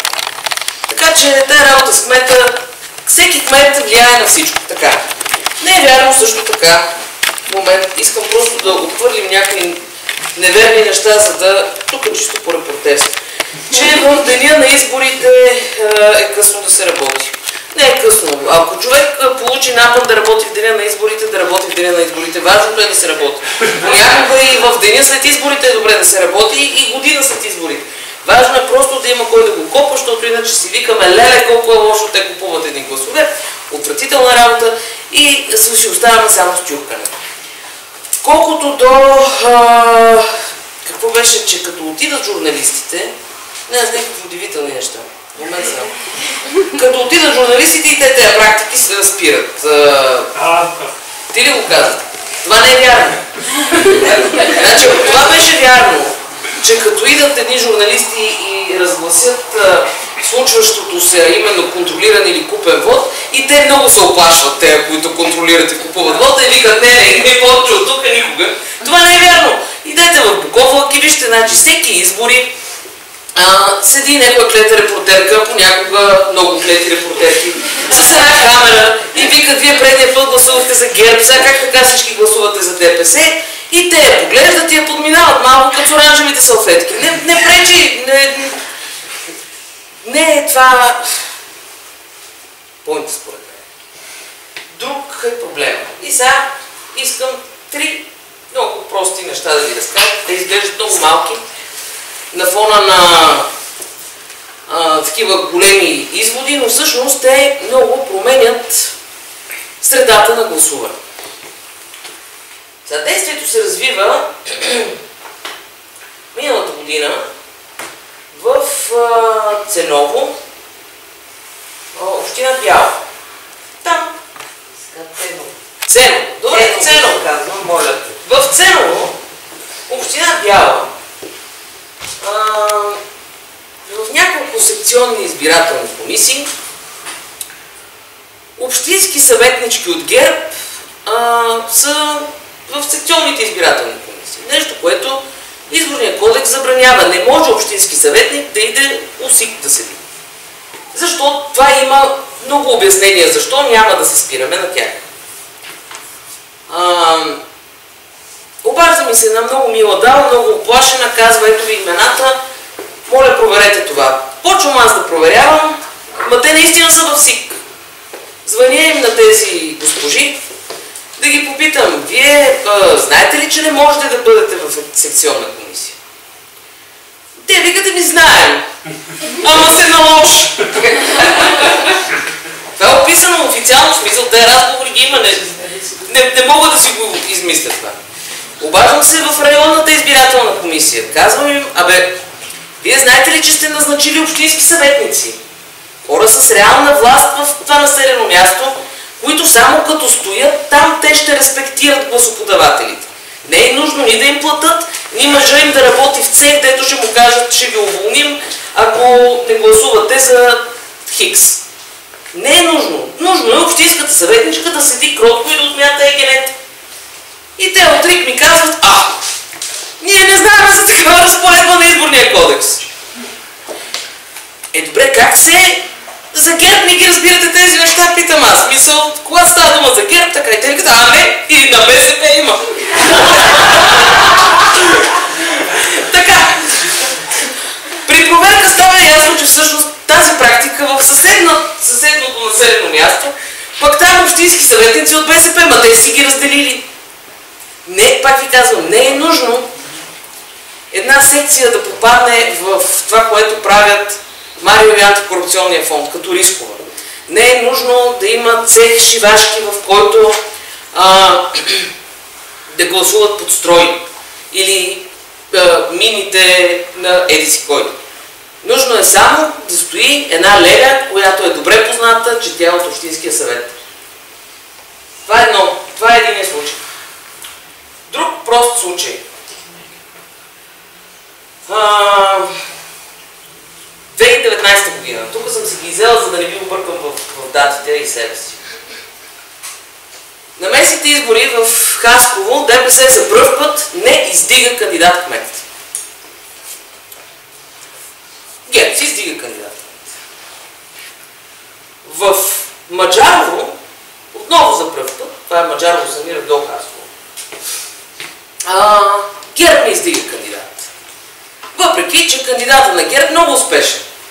Младо момче, работи, ходи, както казах, ходеше да помага на бабите. Това най-обичаното Обаче, то не е издигнат помагач.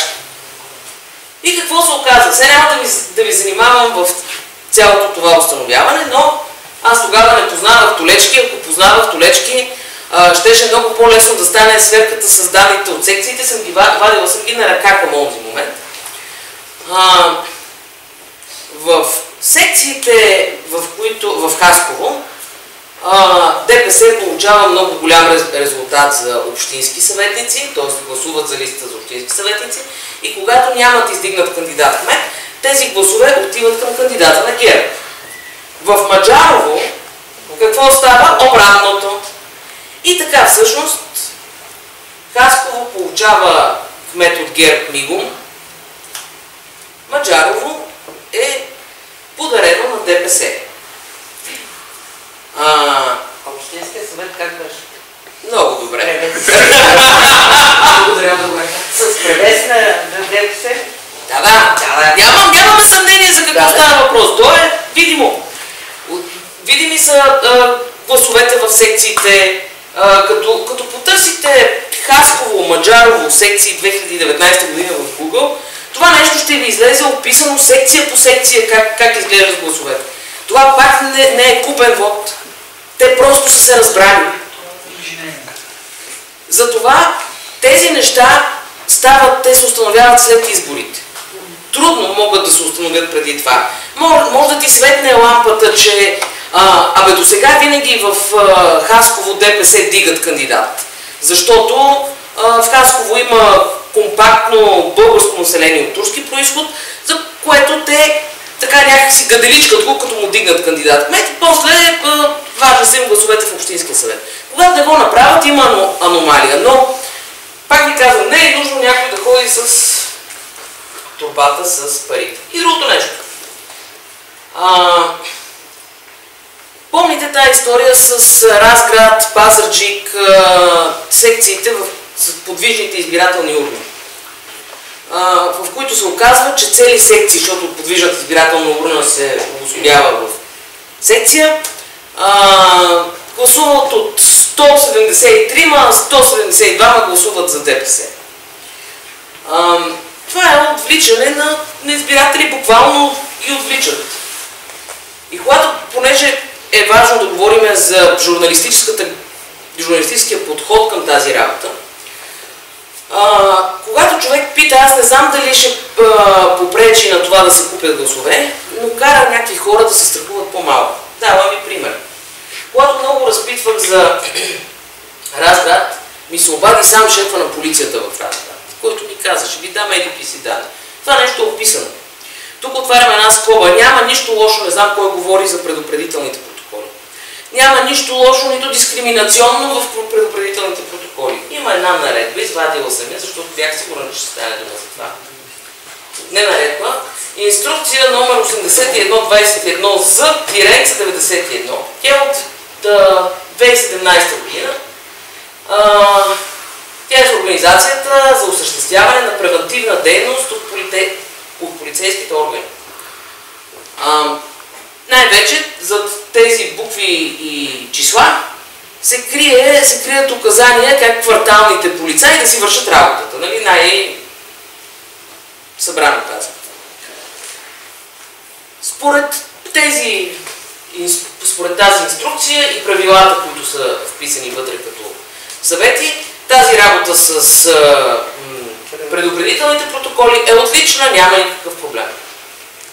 И ако, и ако предупредителните протоколи вършат превентивна работа, много добре.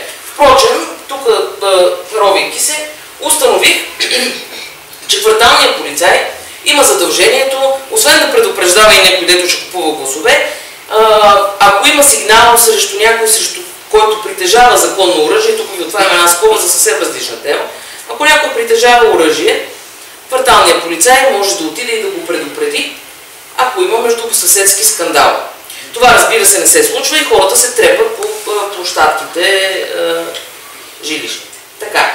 Но, да се върна на а, журналистическия подход. Като питах, питах, говорих с някакви хора, разбира се, членове на секционни комисии, членове на районни комисии и така нататък. И намерих една жена, която първоначално искаше да даде информация без име.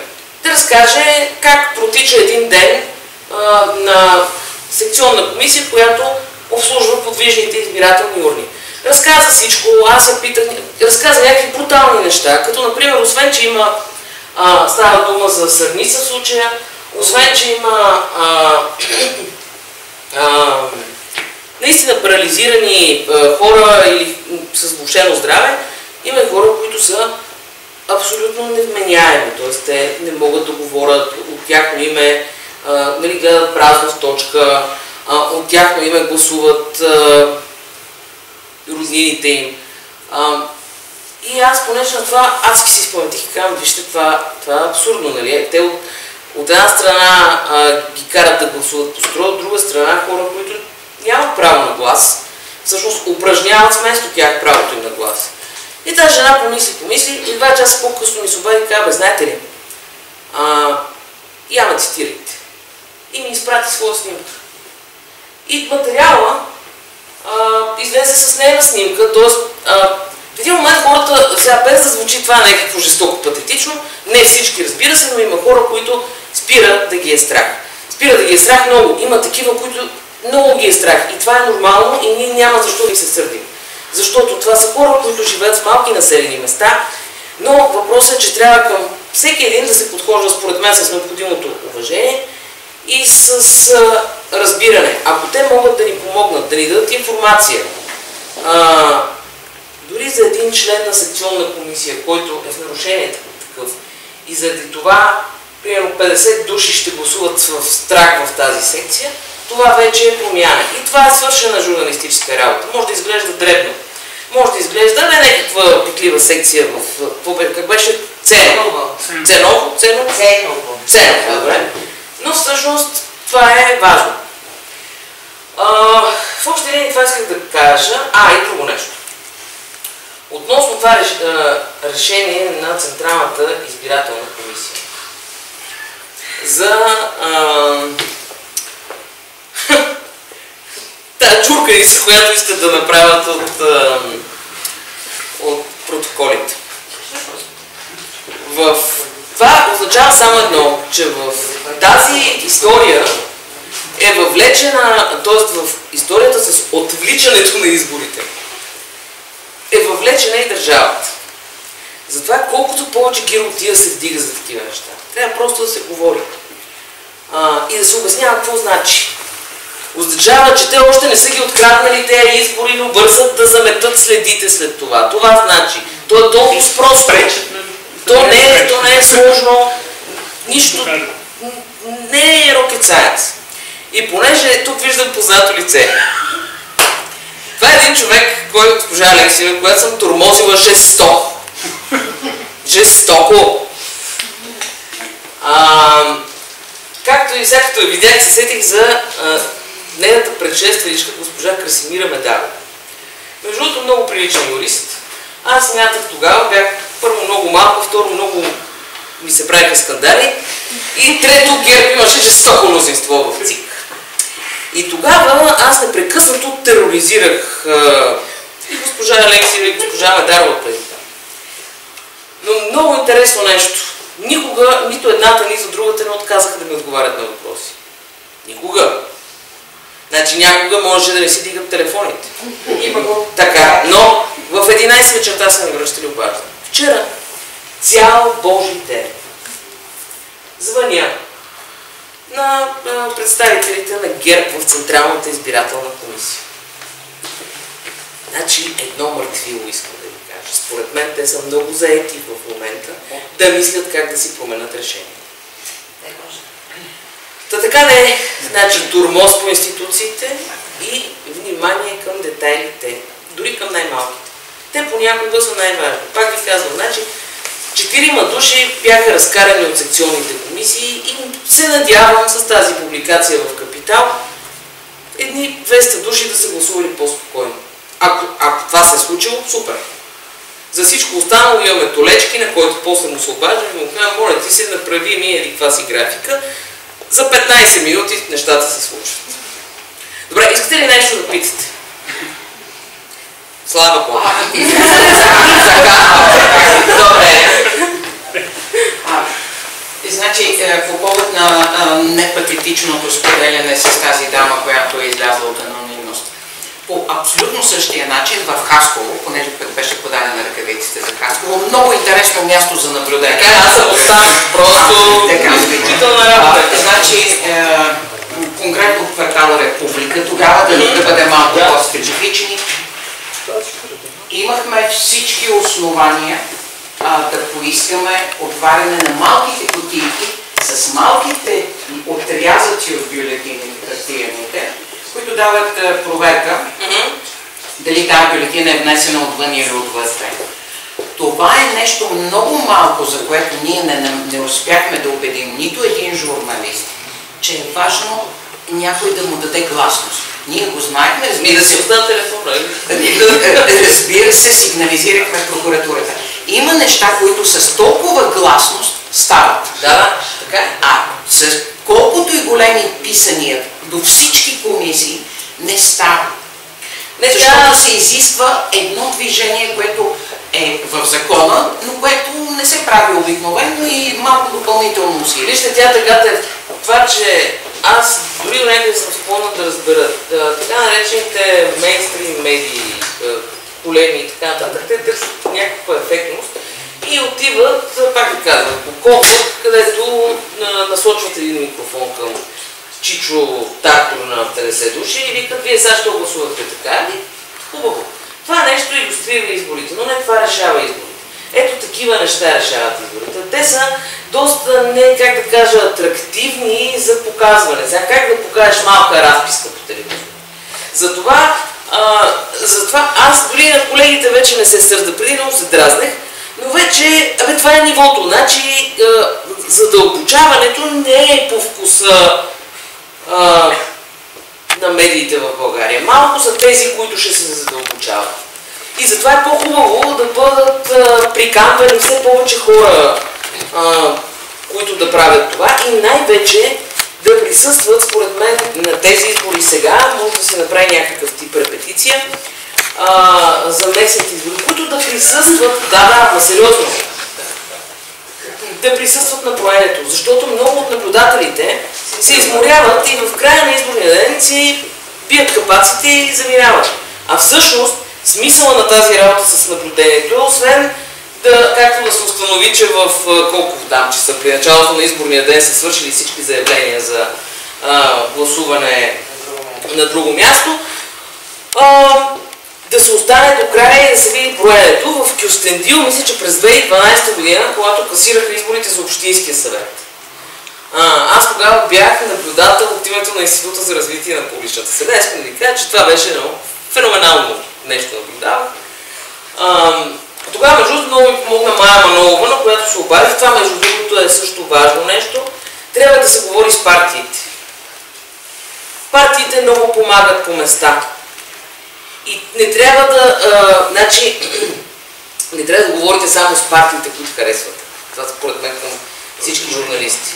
Трябва да говорите с всички партии. Те понякога ви дават доста уличаващи данни и за тези, които харесвате, малко тъпо, обаче, какво да правиш? Така, но, еми така е, не, това е положението сега. Но тогава в Кюстендил, когато касираха изборите 2012 година, аз реших, че е изключително смело човек да влезе в а, че са, как, как да, ромската махала, айде да, да кажа, че дискриминирам някой. В ромската махала, голям купон, от 6 сутринта има две кафенета. Те са Марина. Едното кафене е тук, другото е тук. Пресичаш улица, тук пише ГЕП, тук пише БСП. Двама братчети са те, които управляват двете кафенета. Кафенетата са облепени едни стени в едни календари, обърнати от задната страна, от бялото на листа, и пише Егенет. И като влезеш в кафенето на ГЕРБ и като погледнеш, то ми вика, а, смятаме детските. Като влезеш в кафенето на БСП и там смятат детските. Обаче дава много добра представа, че това, че то кукушкарско, не това решава изборите всъщност. Изборите се решиха в последствие от секционните комисии, които броиха. И ако няма голямо значение, как да ви кажа, за народно населението на България, а, това с Кюстендил, когато касираха изборите, те пак почти ги опоручиха, но по-малко. Тъй, че важното е да се присъства и да се правят дребни неща. Наистина наглед такива пипкави, дребни, които на журналистите им изглеждат тъпи. Пък те не са. Оли, мога ли да взема... Yes, даже много настоявам да това. Искам, да потвърдя, че можете съвсем спокойно, без никакви огризения на съвестта да тормозите институциите, защото от институционална гледна точка за предстоящите избори, а, работата, твърдя, на изборната администрация е абсолютно лесна. Значи, Централна избирателна комисия, районни избирателни комисии имат само две нови, два нови момента. Това е видеонаблюдението и машинното гласуване по начина, по който се прави. което от техническа гледна точка означава 97% от решенията, там е регистрация, разбира се, 97% от решенията на ЦИК са копи-пейст от предишните избори с смяна на датата. В този смисъл те нямат особена работа, за да се крият. Нали, можете да ги натискате по всякакъв начин. Отвъд това, а, втори момент, който искам да обърна внимание, а, критичният поглед на това, което се казва. Вие го имате, но четете закона и го мислете, а, защото ето сега аз чувам нещо много особено по повод това видеонаблюдение. Само да кажа, че от юридическа гледна точка и да не бъде осигурено видеонаблюдение. Да не е проблем. Не е абсолютно да. никакъв проблем. Няма да доведе до опоручаване избори, няма да бъдат обявени, те са противоконституционни, който каквото ще да. Или което не значи, че е готино да няма видеонаблюдение, но значи, че ако няма, няма да нарушат закона. Точно така. Но ето сега аз чувам един пинг-понг. ЦИК казва, това е работа на Министерски съвет. Да, закон е възложен на Министерски съвет. Ама нали секционни избирателни комисии си ще работя с него? Нали, а, Министерски съвет няма правомощия към СИК. Нали, трябва да има начин по който ще работят, нали, трябва да бъдат обучени. Нали, трябва... Така, в смисъл, търсете ги, това ви е превентивната роля, търсете ги тези неща, за да може да се осигури а, и вашия принос към демократичния а, изборен процес. Ако вие натиснете за това сега, вероятно ще бъде малко по-добро, вероятно ще се организира по-прозрачно. Отидете на едно обучение на секционни избирателни комисии. Не правят нали, такова вече тази цик нито ходи по места. А то те са си родени на учени.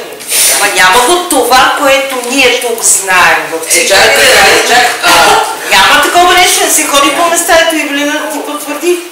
Ти си кажете едно, ви, едно видео се казва, едно, едно видео обучение се качва на сайта на ЦИК. Тази по места, да. Те, това, това, което вие знаете, дето ходихме по места, дето седим 10 години, дали, дето си познаваме... Не, че го знае.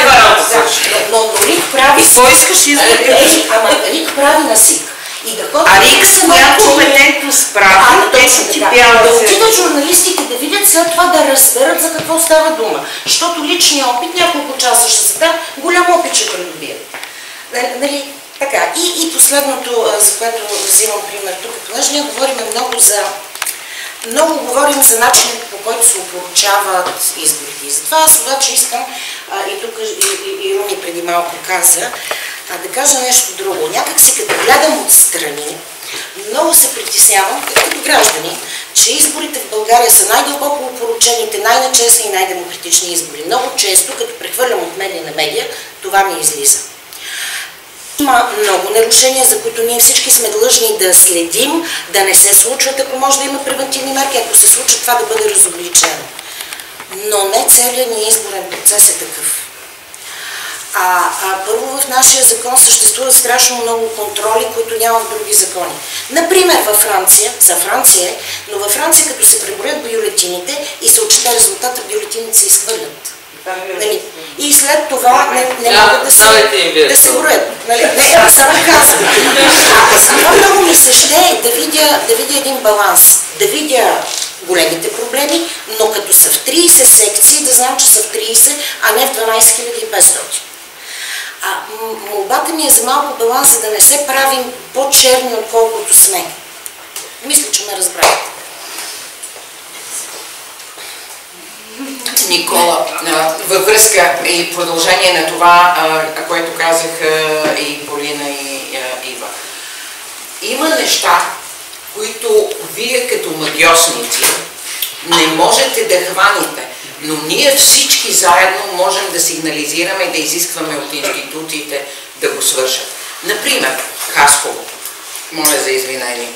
А, Машинна секция, наш наблюдател, никой не влиза. Излизат трима човека да пушат. Двама членове на секционна комисия, един наблюдател. Пушат около между 30 и 40 минути. Ми те депутати от ГЕРБ бяха бременни. в изборната нощ се чували. В секцията и става ясно. Секция, в която никой не е влязал, никой не е излязъл. Оказва се, че стотина човека са гласували между време. Да. И И този тези- анализ е възможен от блоговете. Това е на машината. Е, машината. Това, това е нещо, което да. политически партии, кандидати, наблюдатели и експерти можем така да зададем въпроса и така да се оплачем от това, което се случва в момента, че нещо да се случи. Нашият наблюдател се притеснява да каже, че е бил един час навън и е пушил цигара. И съответно ние научаваме на следващия ден, когато а, имаме дебрифинг. А, не подаваме сигнала на време, а политическите партии казват, как голяма работа, ние вече знаем резултатите. Понеже при машинното гласуване едно нещата, които се случва, че, че бързо излизат резултатите и после никой не иска да се връща. Но наистина от лога и това е нещо, което може да се прави и това е нещо, което можем да искаме. А, можем да... Пробваме да поискаме. Да, аз съм сигурен. Със сигурност лога на гласовете няма, няма таймстамп, защото това би нарушило тайната на вода. Нека да гласуваме. Излиза кога, в кой период, какви, Да. колко хора са гласували. гласува, не, за кого се гласува. Не за кого, Да, е. Иначе за, за колко са чевръсти членовете на СИК имаше там обратна връзка от интервюто на антикорупционния фонд, как не, нали, като отидат наблюдател ги казват, елате сега тук на обяд, сега ще си заведа най-невероятната тук, Братовчев ми има, има ресторант, сега ще ни изготви, не върнат и само и само да, да ги изкарат за малко, да може да свършат да си свършат нещата. Че, да, човешката креативност, когато става дума за избори, няма край. И да, аз ще да кажа, че нашата роля като нали, магиосници, благодаря, и хора, знаете, нашата роля не е да открием, а по-скоро да спестиме работа на Полина или на, на хората, които наистина ще разкажат за какво става дума, за да не трябва да си губят времето да, да се борят с Excel и да имат вече един фон, един контекст, който те да, да, на който да може да стъпат и на който вече да, да разкажат реално какво се случва. Това ни е амбициите, нали, това е цел, целта на тази на това обединение, което правим, е да се съберат такъв различен капацитет, нали, от една страна разказвателен, от друга страна технически, от трета страна юридически, експертен, изборен наблюдател, нали, на едно място. И което мисля, че е така една добра, добър момент да завършим нашето събитие. Може ли още един А, въпрос? може, разбира се. А, значи, е, спомена се за това, че може да се тъпчат бюлетини. Така. В съвременния вариант на гласуването, това възможно ли е при положение, че се къса отрязък, че са номерирани бюлетините, че са по специален начин напечатани?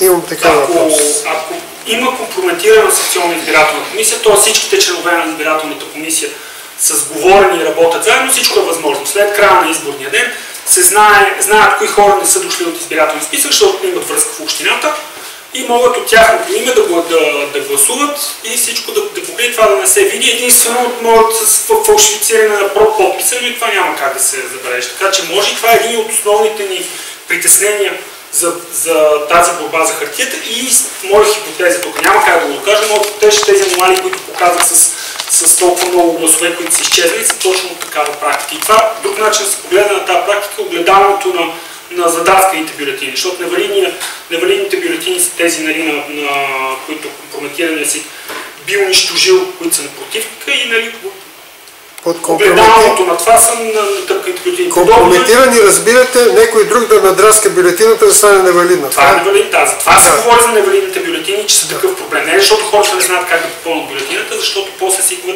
да. могат да ги унищожат. Имайте предвид, че в Бъл- България има 12 000, над 12 000 избирателни секции. На последните парламентарни избори имаше 8 партии, които имаха над 12 Добре, 000 е, гласа. достатъчно. Само да ви попитам. Какъв е процента според вас на тези случаи, които са с тъпкане на бюлетини? Няма как да, да, да не направим вярно това. число на това. Това не, е- не е нещо, което може да отговорим от данните, но със сигурност съществува и затова искаме да привлечем внимание Защото изглежда като фантазия, разбирате? Докато не ни позволят да отворим чувалите, многократно сме искали дори за избори, за които вече не само са приключили, не само нали, всичко свършило, а изтекал и мандата на избраните личности, не ни е дадено да отвориме, да проверим чувалите. Това се случва по огромно изключение, много рядко, на много лимитирани места. Докато ние от Обществения съвет поискахме конкретно в тези секции с огромен брой невалидни бюлетини, за избори вече, които са изтекли, хората вече си получили заплатите и вече не са депутати, да видим добре защо.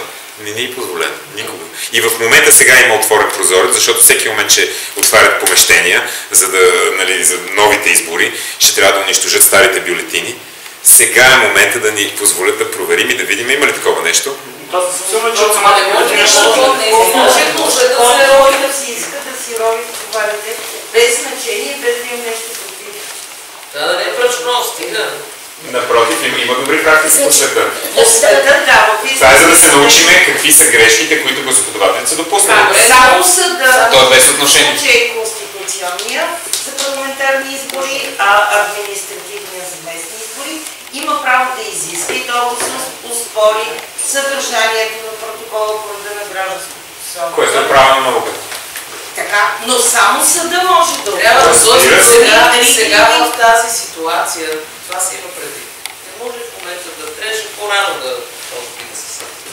За тази Много ми се ще да кажа нещо за наблюдателската мрежа. Нали, приключихме, но моля ви, нито една от изборните измами няма да се случи, ако има наблюдатели в началото на изборния ден, по време на изборния ден, при приключване на изборния ден и отчитане на резултатите. И ако тези наблюдатели а, си гледат правата и тази, на тези избори, ако може да се пробие това, което каза Спил, а, някакси наблюдатели трябва да има по закон пряка видимост върху броенето, това не му се осигурява да се иска, да се упражни натиск, да му се осигури, за да може наблюдателя, застъпници, представители да виждат бюлетината, да виждат за кого е, да виждат преференцията. И последно, за това, че има сговаряне, мисля, че Неотчитането на преференциите при много избори или пропорционалното разпределение на преференциите, което аз съм виждала в секционни протоколи да по време на моя мандат, ни говори за това, че има сговаряне или не се броят преференции, или пропорционално някакси да се разпределят. В времето на, председател на ЦИК отидох в моята секция, знаеха, че съм председател на ЦИК, предупредих ги, че ще гласувам странно, гласувах странно, моята преференция не беше отчетена. Така, просто има такива моменти, но това за преференциите, има сговаряне, това показва, че има сговаряне. Ако има наблюдатели, застъпници, представители във всяка секция, няма как да се случат тези измами. Аз понеже момент, понеже също така не свършва и времето в залата, първо да ви благодаря страшно много за, за присъствието и отново да надгъртя, свържете се с нас, ако искате да, да влезете в нашия Slack канал, ако искате някаква а, помощ от нас, ако искате въобще да си кажем само здрасти, може да ни намерите по всевъзможни начини. Само здрасти няма. Само а, мисля, че вече имаме и така по-официален имейл, а, но става и през Facebook, става и през а, лично, ако някой ни познава, по всеки възможен начин в момента става, защото сме малко в режим на хаос. Отново благодаря ви и да продължим в по